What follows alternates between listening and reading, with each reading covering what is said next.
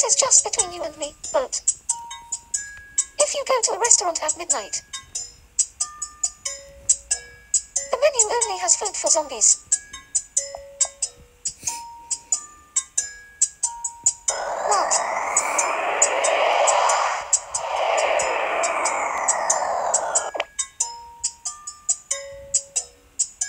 Yeah, actually, I just made it up.